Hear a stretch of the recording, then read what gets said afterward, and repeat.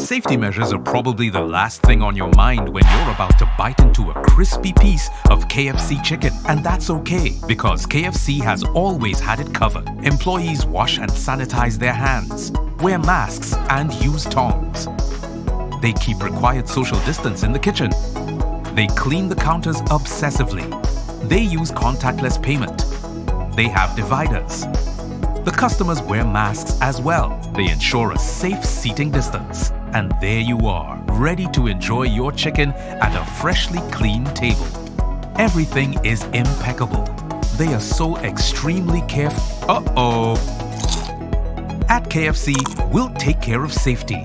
You take care of the delicious chicken.